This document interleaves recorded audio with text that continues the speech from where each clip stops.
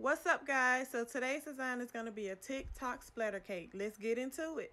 Alright guys, so per usual we're going to start off by leveling off our cake. Now you can do this with either the Wilton leveler that I'm using or a serrated bread knife. Now because of the way that I'm building this cake, we're going to cut a circle in the center of my cake layer, which I'm using my vanilla cake recipe by the way just in case you want to know that. Now I'm just going to go ahead and put down some buttercream on my cake board and then I'm going to transfer my first layer over to the board. I'm just going to start putting on my first layer of frosting and I am using my vanilla buttercream frosting which is up on my channel so go check that video out just in case you want the recipe. And we're just going to smooth this around. You're also going to add some frosting on the inside of the circle as well. Once you're done with that, just smooth it out on the top. Now let's get into the second layer. Okay, so we're gonna start leveling that one off as well. And once we get that one leveled off, we're gonna take our round cookie cutter, cut a circle out in the center, pop that out, and then transfer our cake over. Now let's pile on the frosting. We're going to start putting on our second layer of frosting.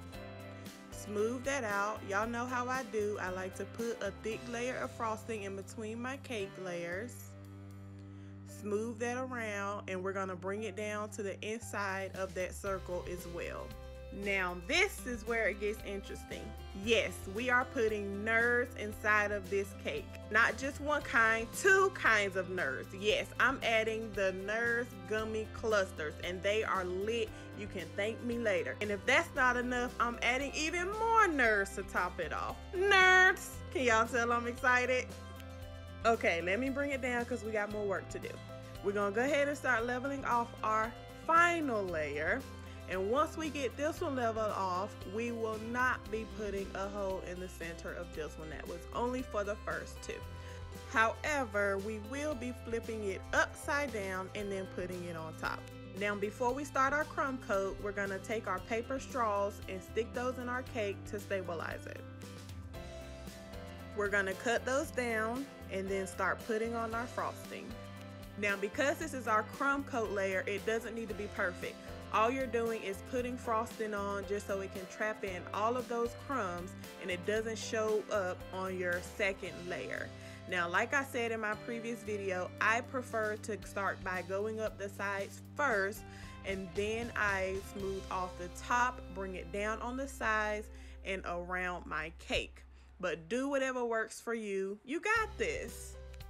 Now, I love a good clean crumb coat, but that's just me. I'm a perfectionist and I own it. So I'm gonna clean off my board and we're gonna pop this in the freezer for 10 or the refrigerator for 15. I'm gonna clean off my spatula and then start going on with my second coat.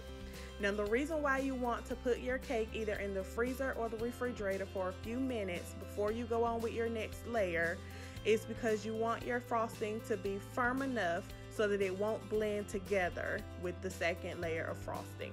Now I'm just gonna start smoothing off my frosting on the top. And once we get the entire cake covered with frosting, I'm gonna take my bench scraper and start smoothing off the sides. Now I'm just gonna start cleaning off my board and we're gonna pop this back in the freezer for 10 or the refrigerator for 15. Okay, so to create the splatter design, I use white chocolate ganache and I colored half of it pink and the other half blue. I took a paintbrush and I literally flung it all over the cake in my entire kitchen, by the way. Super messy, but a lot of fun at the same time. Now I'm gonna start putting on a couple TikTok sayings. Um, on the front, I decided to go with eat, sleep, TikTok, repeat. And then on the back, I'm gonna put peace, love, and TikTok. I'm definitely one of those people that truly do believe social media platforms should be used to spread peace and love. Now, to finish off this design, I decided to take the remainder of my frosting and I colored half of it pink and the other half blue. Um, I used this to create a swirl design on the top of the cake and once I got done with the top, I did decide to go ahead and start piping it around the border as well. Now the mistake I made was starting off my um, border at the front of my freaking cake. You definitely want to start piping your border at the back of your cake and the reason for this is just so you can have a cleaner finish. But since I already started, I just kind of had to commit.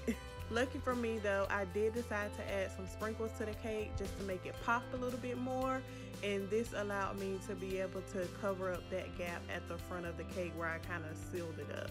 Alright guys, so now I'm just topping it off with the personalized cake topper. I did have to cover up the birthday girl's TikTok name for privacy, but please comment down below let me know what you guys think. Thank you for watching. Bye!